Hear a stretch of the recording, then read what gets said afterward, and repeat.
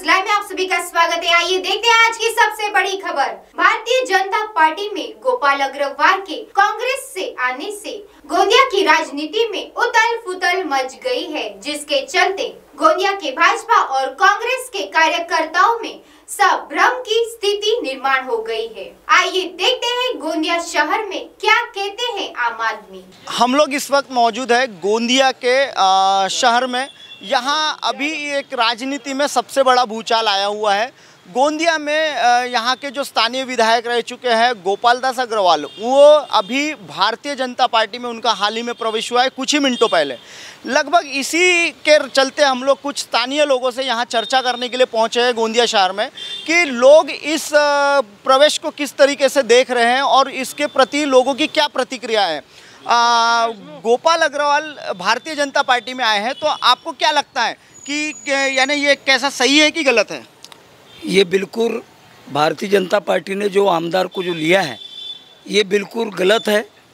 Bharatiya Janata party के अनेक कार्यकर्ताओं ने अनेक दिन तीस सालों से राजकारण कर रहे और जो गोंदिया विधानसभा क्षेत्र में जो ज़मीन तक नहीं थी, उसमें सम्माननीय हमारे विनोद जी अग्रवाल जब गोंदिया में पहर उनने रखे और भाजपा की कई कांग्रेस के कई राष्ट्रवादी के, एक विनोद भाव के नेतृत्व को देखते हुए, कांग्रेस को, राष्ट्रवादी को राम राम करते हुए उनके नेतृत्व में भारतीय जनता पार्टी में आए और आज जो एक जीतने की, एक उम्मीद पूरे गोंदिया विधानसभा क्षेत्र में, हर गाँव गाँव में खेड़े खेड़े में गली गली में, शहर में, मोहल्ले में, हर आम आदमी के नाम पे सिर्फ़ विनोद जी अग्रवाल, आज एक व्यक्तिगत छवि हो गई है। और ऐसे परिस्थिति में गोपाल दास जी अग्रवाल को जो भारतीय जनता पार्टी ने जो पद में लिया है, ये भारतीय जनता पार्टी को बहुत बड़ी इसकी चुनौती। आने वाले विधानसभा में भोगना पड़ेगा, ये मेरा खुद का मत है। क्या नाम है आपका? रितेश मिंडे। रितेश बताइए गोंदिया विधानसभा में जो अभी राजनीति में भूचाल आया हुआ है कांग्रेस से भारतीय जनता पार्टी में गोपाल अग्रवाल है तो आपको क्या लगता है यानी कि यहाँ की राजनीति का क्या ग्राउंड होगा? ये एक तरह से वो गलत कर रहे हैं है ना? हाँ। जो अपने विनोद जी अग्रवाल आज से पाँच साल तक अपने बीजेपी कार्यकर्ता जो संभाले उनने तो कैसा है उनने अपन जो अच्छे कर्म करने के बावजूद वो बिन फालतू यहाँ पर आ रहे हैं। और आने का मकसद नहीं था उनका। यानी वो अपन से पूरे जो अपन जो मेहनत कर रहे हैं। आपको लगता है कि वो अपनी जो सीट है हाँ। जो उनका विधायकी पद है हाँ। वो यहाँ भाजपा में आकर भाजपा में फिर से विधायक बनने के लिए वो यहाँ पहुँच रहे हैं? हाँ वैसे ही कर रहे हैं। वो मंत्री पद के लिए हासिल करना चाहते अच्छा मंत्री पद हासिल करने का उनका ये मानस हुआ है। आ, क्या नाम है आपका? क्या बोलूँ? गोंदिया की राजनीति में हाल ही में 10-15 मिनट पहले भूचाल आया हुआ है। स्थानीय विधायक गोपाल अग्रवाल कांग्रेस से सीधे बीजेपी में शिफ्ट हो गए हैं तो इस पर आपकी क्या राय है? वो ये तो सब राजनीति है राजनीति है। अभी पूरे देश के अंदर में लोग अपना दल बदल लिए अच्छा। छोटा सा गोंदिया शहर है। बराबर।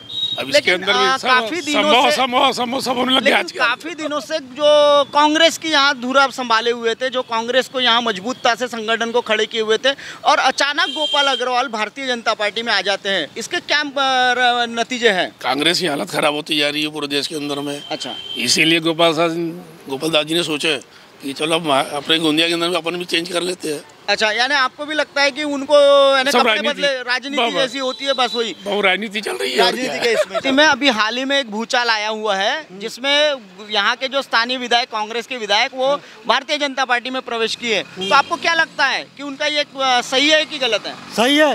कैसे? कैसे सही है? क्योंकि उसको पद मिलना था मंत्री पद का। हाँ। वो आमदार जो है गोपाल जी है वो अच्छे काम करे गोंदिया का विकास करने के लिए जा रहे हो? तो कांग्रेस में रहकर भी तो विकास कर सकते थे। कांग्रेस में इसलिए नहीं रह रहे हो क्योंकि उनको डर है हार जाऊँगा करके। इसलिए नहीं वो यानी कांग्रेस यहाँ वीक हो गई है। हाँ। पूरी तरह से खत्म हो गई है कांग्रेस।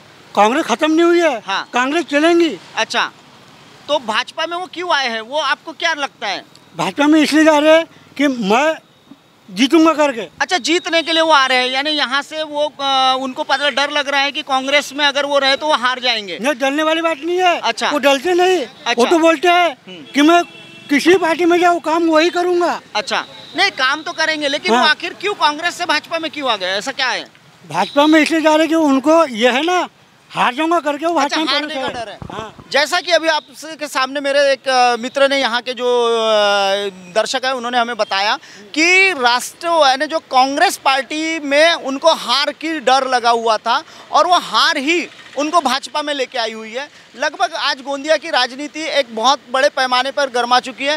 अ, यही वो गोपाल अग्रवाल है जिन्होंने जिला परिषद में कांग्रेस और भाजपा की युति कर कर सरकार बनाई हुई है। लगभग ये तो तय ही था आज से पाँच साल पहले तय था कि यहाँ ऐसा कुछ होने वाला है। गोंदिया की राजनीति में जो भूचाल आया हुआ है यहाँ के स्थानीय कांग्रेस के जो विधायक है गोपाल अग्रवाल वो हाल ही में अभी कुछ ही मिनटों पहले वो भारतीय जनता पार्टी में शामिल हुए हैं।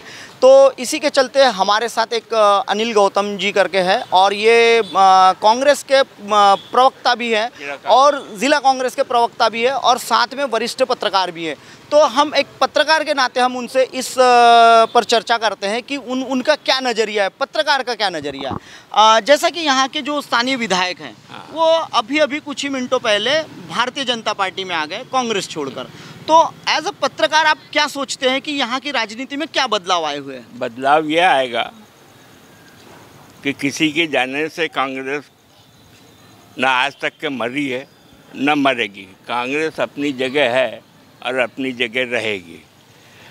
और आप भी पत्रकार हैं, मैं भी पत्रकार हूँ। मेरा तो यह मानना है कि इतिहास जो लिखा जाता है, वो ईमानदारों का लिखा जाता है। बेईमानों, धोखेबाजों और गद्दारों का इतिहास नहीं लिखा जाता। रही गोपाल अग्रवाल के कांग्रेस प्रवेश की बात। तारीख पे तारीख। भाजपा प्रवेश। भाजपा प्रवेश की बात तारीख पे तारीख तारीख पे तारीख तारीख पे तारीख दो महीने से ये जो नौटंकी चली हाँ। आज से आठ महीने पहले मैंने शहीद बोला कांग्रेस भवन की सभा में कांग्रेस जनों की सभा में इस बात को बोला था कि चुनाव के पहले पहले यहाँ की जो जिला कांग्रेस है, उसके साथ धोखाबाजी होगी। और इतना ज़बरदस्त धक्का लगेगा कि तुमको अपनी कमर सीधी करने में कम से कम छः महीने लगेंगे। तो क्या लगता है कि यहाँ की जो कांग्रेस है अभी वो अपने आप किसी के जाने से कांग्रेस मरती नहीं? नहीं नहीं कांग्रेस मरेगी नहीं हाँ। लेकिन यहाँ की जो कांग्रेस है वो उम्मीदवार के तौर पर अब उठा पाएगी अपनी यानी यहाँ उम्मीदवारों का फैसला कल होगा। कल होगा उम्मीदवारों का फैसला। हाँ। लेकिन यहाँ की जो कांग्रेस है वो जो जैसे कार्यकर्ताओं की जो हाँ, हाँ, हाँ। जो उनके कार्यकर्ता हाँ। है जो भाजपा में चले जाएँगे फिर कार्यकर्ताओं की कमतरता होगी इस पर क्या आपकी राय है?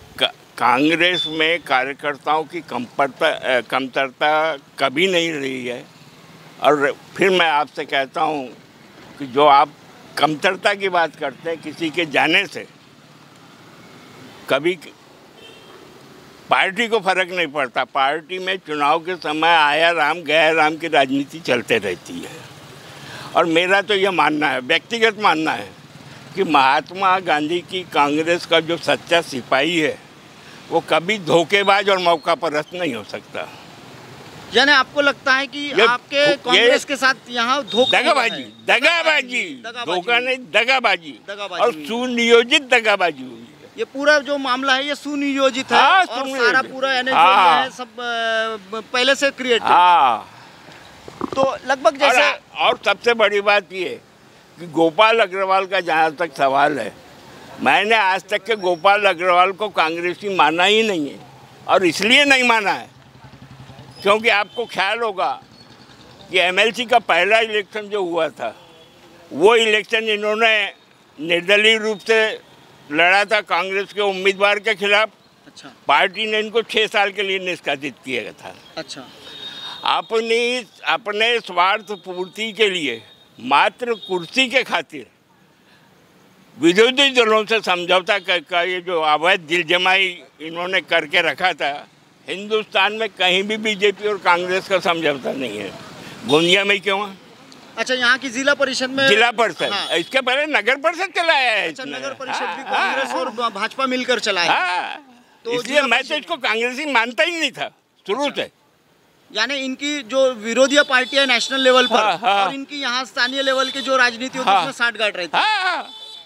तो लगभग जैसे अभी हमारे साथ जो वरिष्ठ पत्रकार है आ, इन्होंने हमें अभी बताया कि यहाँ की जो राजनीति है वो ऑलरेडी सुनियोजित तरीके से चलाई जा रही है और लगभग यहाँ की जो राजनीति में जो अभी ये जो भूचाल आया है वो उसके पहले भी हमारे पत्रकार जो वरिष्ठ पत्रकार हैं इनको वो ऑलरेडी पता था कि ऐसे कुछ होने वाला है और उसी के चलते यहाँ की जो लोकल लेवल पर जो जिला कांग्रेस है उसने अपनी पहले से ही किले किलेबांदी कर रखी हुई है ऐसा उन्हीं का कहना है। गोंदिया के लगभग हम दूसरे चौराहे के तरफ़ अभी भी आए हुए हैं यहाँ भी हमारे साथ कुछ लोग जुड़े हुए हैं जो कि गोंदिया शहर की या गोंदिया विधानसभा की राजनीति में जो भूचाल आया हुआ है जिसमें यहाँ के जो स्थानीय कांग्रेस के विधायक थे वो अभी कुछ मिनटों पहले ही भारतीय जनता पार्टी में आ चुके हैं।